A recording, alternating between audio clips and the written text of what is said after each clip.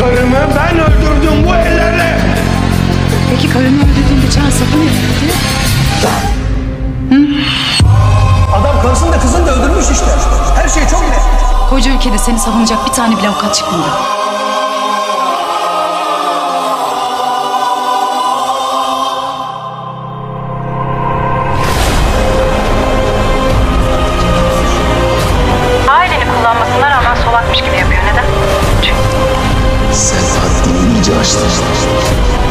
Yo, daha yeni başladım.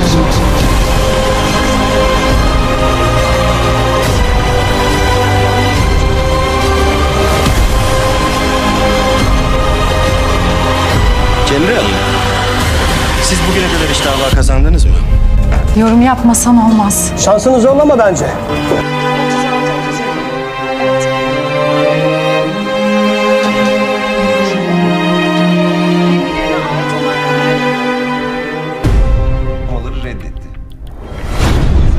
Sen sanıklarına güvenme demiştim sen. Değil mi? Güvenmiyorum zaten. Ben yaptım demişsin. Sen yapmış olamazsın. Eğer böyle bir şey yapsaydık de olurdum.